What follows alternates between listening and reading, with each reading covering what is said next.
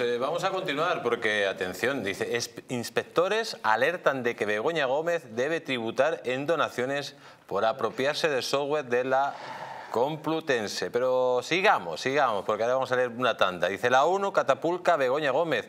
La lanzó desde la Organización Mundial de Turismo y ahora impulsa su cátedra por medio de la UN Global Compact. Sigamos. Reale desmiente al rector de la Complutense. Fue él quien nombró directora a Begoña Gómez. Otra más de gambas. La firma de Barrabés, atención, disparó su beneficio un 273.000% tras ser avalado por Begoña Gómez. Y ya, amigos, por leerle, y esta ya que sí es importante, dice la noticia, mi marido lo arregla en cuatro llamadas. Así influía Begoña Gómez en el IBEX. Dice, Pedro Sánchez ha caído en su propia trampa. Llegó a la presidencia gracias a una moción de censura contra el PP por corrupción y ha hecho de la lucha contra esta una de las banderas de su mandato, sin reparar en la expulsión de ministros bajo sospecha, como José Luis Ábalos. Pero sin embargo, sale en defensa de su esposa, investigada por presunto tráfico de influencias y corrupción. ¿Por qué no aplica la vara de medir que utiliza para los demás a sí mismo?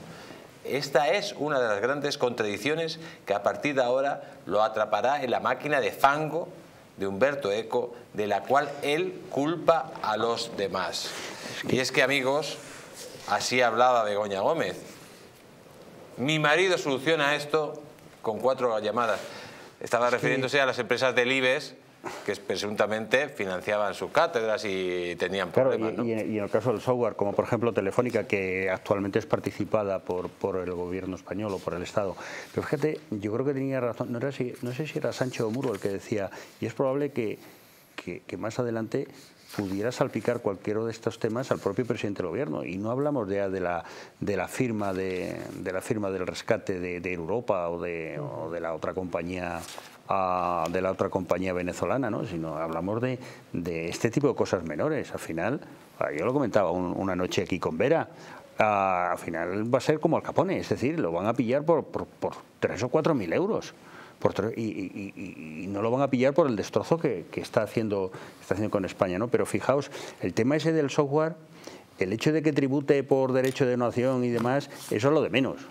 El tema está en cuáles son los motivos que le han llevado a esta señora si realmente se ha apropiado del software. Ahí es donde está el problema, porque claro, es un software que ha estado financiado por Telefónica, por Google y, otra empresa más. Y, me consta que las empresas americanas están haciendo una auditoría interna de a ver quién es el que ha decidido y por qué se ha decidido eh, apostar por este software, que a la postre pertenece a esta señora estaríamos en, la tipificación penal de la apropiación indebida, el 453, y posiblemente un delito de malversación del 432 al 435 en, una malversación impropia.